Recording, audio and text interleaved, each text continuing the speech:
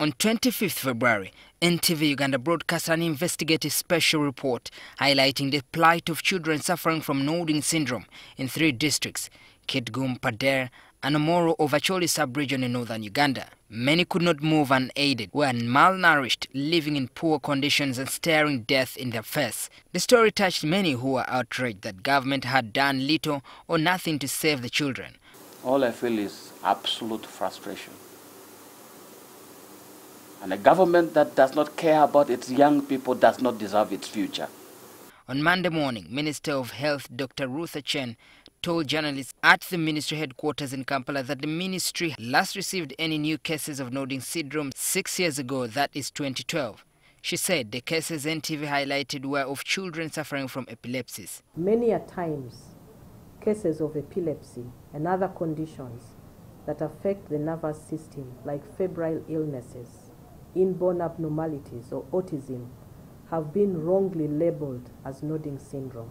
But in the NTV story, there were cases of children suffering from nodding syndrome, and some improved years after we first captured their plight, largely due to medication and better feeding. In fact, Deputy Speaker of Parliament Jacob Oulanyah, who is also the Omoro MP, one of the area's most hit, was concerned that government had not done enough to tackle the nodding disease. The health minister also said government was awaiting a formal handover of nodding syndrome center in Omoro previously run by Hope for Humans, an NGO run by an American citizen. The NGO closed the center because it had run out of funding to buy food and other essentials for the children.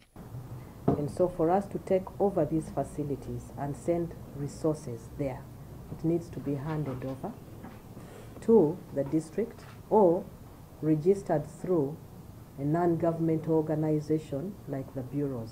Wherever they were, they should be reopened. And that special care created to help these children and their families.